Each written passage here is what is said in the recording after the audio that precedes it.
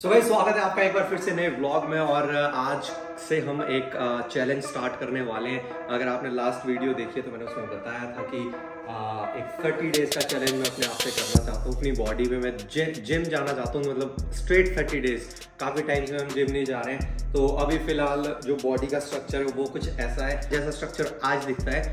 Thirty days continue gym जाने के बाद और अच्छे से एक्सरसाइज करने के बाद कितना कितना फ़र्क पड़ता है।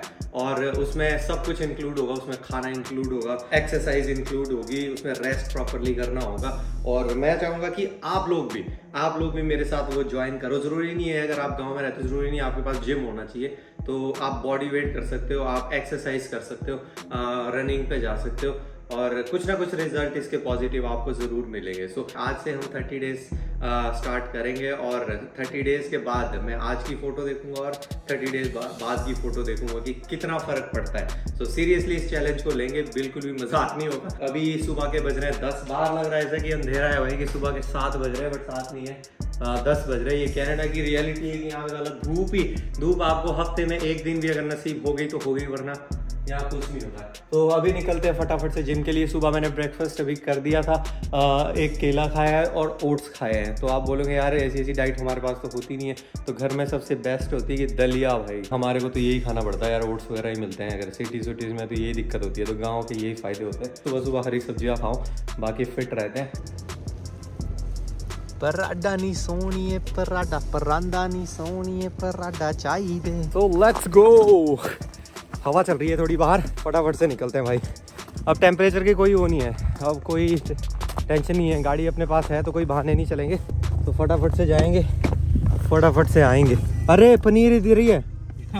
क्या बात है।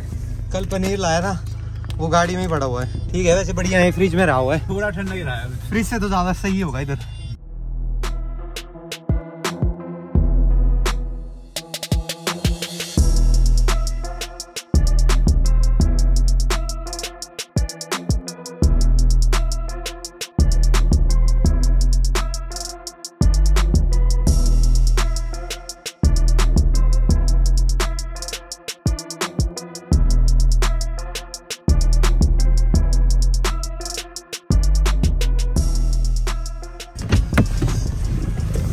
ऑल राइट गाइस पहुँच चुके हैं अपने जिम प्लेनेट फिटनेस जैसे कि आपको पहले दिखाया था हम एक दिन आप आए थे। उसके बाद गाड़ी खराब हो गई थी फिर पहुँच आ नहीं पाए इधर। बर्फ़ लगी हुई है ज़बरदस्त। ओए होए होए आज ज़्यादा कुछ करने नहीं वाले हम थोड़ा मिक्स मिक्स मारेंगे क्योंकि भाई बॉडी को पहले दिन तोड़ना ठीक नहीं रहेगा। I wake up to a little bit of drool on my pillow, feel like it's gonna be a bad day. Yeah, I'm tired of shit, and the coffee ain't hit yet. Damn, ain't that great. I don't wanna go to work cause my boss is a jerk and I'm not even that paid I need a change in my life cause I don't feel alive and there's nothing that makes me happy Oh, hold my beer for a minute I'm about to quit my job, cash in for a ticket I'm going on a trip and I don't plan to visit So guys, gym is done और दो घंटे बाद भी snowfall वैसे ही चला है जैसा दो घंटे पहले चला था पर ज़्यादा कुछ आपको दिख नहीं रहा है रोड पे वो इसलिए कि धीमा धीमा चला है थोड़ा और गाड़ी किधर है अपनी वाटर बॉटल नहीं है तो बॉटल लेने भी जाएँगे। डॉलर आमा एक सस्ता सा स्टोर है यहाँ पे। ज़्यादा पैसा हम खर्च करने नहीं वाले हैं अब किसी फालतू चीज़ में। तो अब जो भी लगेगा वो बॉडी पे लगेगा अपनी डाइट के लिए। भाई वो एकदम ही गुम हो जाता है बंदा। गाड़ी हमारी इधर है, बाकी बंदा पता नहीं कहाँ गायब हो गया। अभी आया तो था साथ में। टफ फील हो रहा है। अगले एक महीने तक ऐसी इंटेंसिटी ऐसा ही जोश रहे बॉडी में। और एक महीने बाद आपको रिज़ल्ट दिखाना है। डॉलर आमा द डॉलर स्टोर तो गाइज़ मैंने लिया हुआ ये वाला कलर और हैरत ने लिया हुआ है ये कलर ताकि लड़ाई ना हो हमारी। अलग अलग कलर बट बॉटल सेम है। पाँच सौ रुपए की आपको ये दो बॉटल्स मिली है। सबसे पहले मैं निकाल रहा हूँ ये टैग्स ताकि लोगों को ये ना लगे कि मैंने डॉलर से लाई और इतनी सस्ती है। थोड़ी सी तो इज़्ज़त रखनी पड़ती है यार अपनी। और तू भी निकाल दे।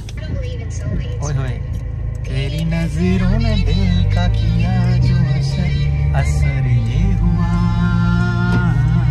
यो यो पाब्लो एस्कोबार क्या बोल रहा है?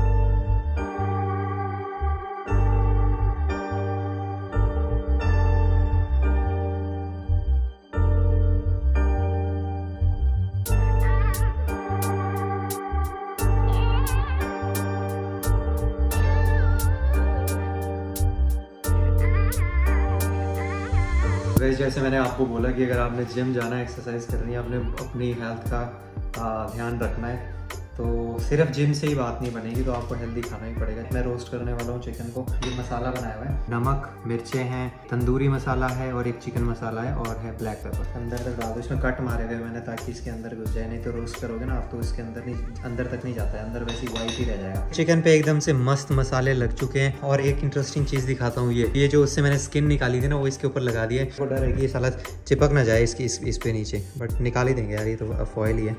फोर फोर हंड्रेड पे है हाँ। बाकी इसको डालते हैं।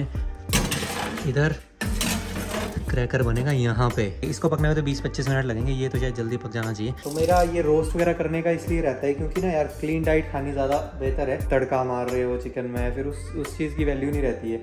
आ, इतना अगर आप प्रोटीन ले रहे हो तो वो तेल वगैरह छोड़ना पड़ेगा। क्रैकर्स तो बने कुछ ऐसे और जो तो मैं एक्सपेक्ट कर रहा था वैसे तो नहीं बने क्योंकि वो बनाते एयर फ्रायर में तो एयर फ्रायर में तो बिल्कुल ही अलग बनते हैं। देखने में देखने में ठीक ठाक लग रहे हैं बट बाकी टेस्ट करके ही पता चलेगा क्या सीन है। ओ भाई बिल्कुल आवाज़ आ ही रही होगी आपको। हम्म, हम्म, हम्म।